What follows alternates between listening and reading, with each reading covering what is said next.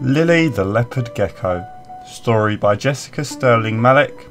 Illustrations by Jason Friend. Mummy, guess what? My school said I could bring Lily home for the summer. Who's Lily? asked Mummy. Lily the Lizard.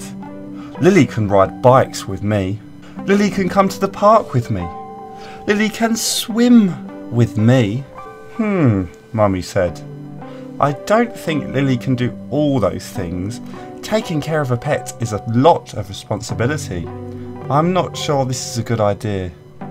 Please, Mummy.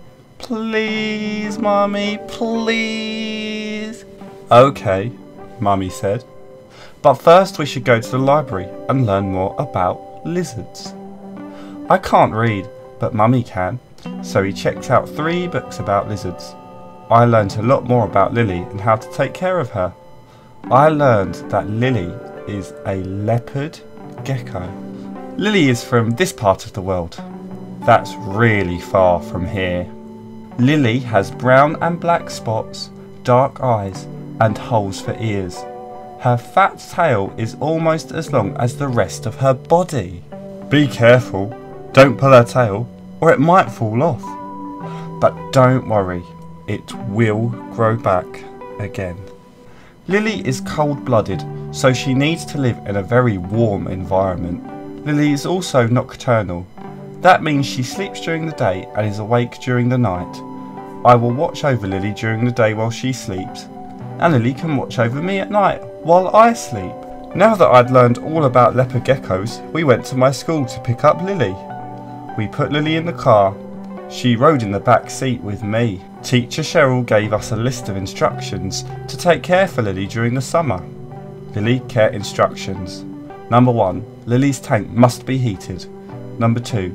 Feed Lily live crickets every 2 days. Number 3. Fill Lily's water bowl every day. Number 4. Clean Lily's tank once a week. Next we went to the pet store to buy live crickets for Lily to eat. The pet store worker said that we have to feed the crickets too.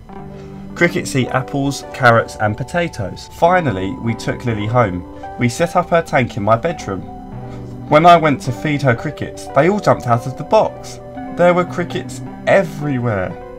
Daddy was not happy when he found a live cricket in his bed that night. For the whole summer I played with Lily, filled her water bowl and cleaned her tank. Lily grew big, fat and healthy. Lily was happy.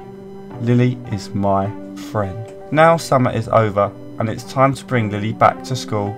I'm sad to see her go, but I'm happy to share her again with all my friends at school. I know I will miss her, but I will get to see her every day. See you at school tomorrow, Lily.